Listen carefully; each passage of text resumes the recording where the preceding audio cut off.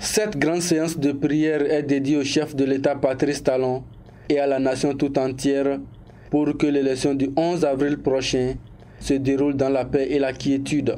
L'initiative émane du bloc républicain.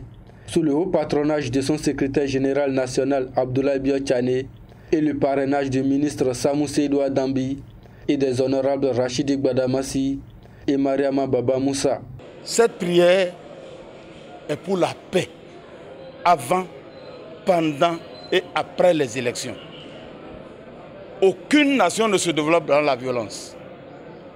Aucun développement ne s'obtient dans la violence. Nous devrons œuvrer pour la paix. Nous devrons œuvrer pour la paix. Évitons la violence. Évitons la haine. Évitons la méfiance. Nous devons nous tenir la main dans la main. Nous disons merci à l'imam central de la ville de Parakou,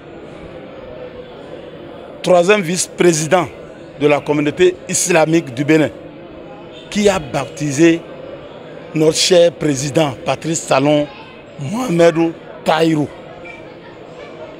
En reconnaissance des services rendus à toute la communauté musulmane en ce qui concerne la réconciliation de tous les fidèles musulmans du Bénin. D'une seule voix, tous les imams et leaders religieux de la ville de Parakou ont imploré le nom d'Allah pour que l'élection du 11 avril se déroule dans la paix et la tranquillité.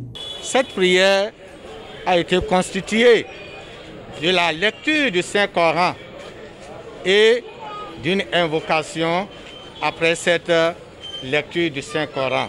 Et comme vous le savez, le musulman se base toujours dans le livre du Seigneur qui est le Saint-Coran.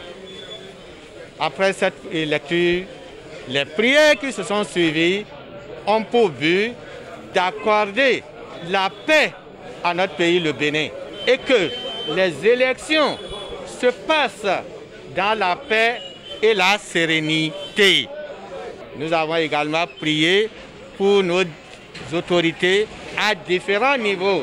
Les femmes de la cité des Kobourou n'ont pas voulu rester en marge de cette cérémonie. Nous sommes en train de rentrer maison dans maison et de sensibiliser les gens pour leur dire qu'il faut que la paix règne, que nous ne voulons pas la violence.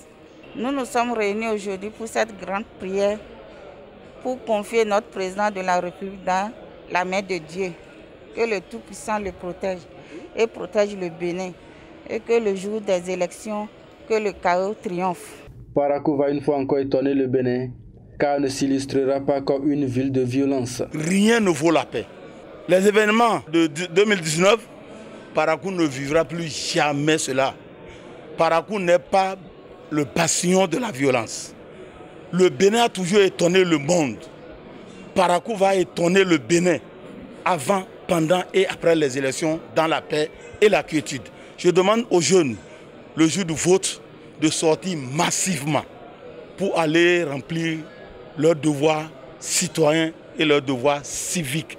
Le parti du cheval cabré, à travers cette énième initiative en faveur de la paix, démontre une fois encore son souci de participer à une élection transparente et apaisée qui verra la victoire de son duo candidat par un chaos tranquille.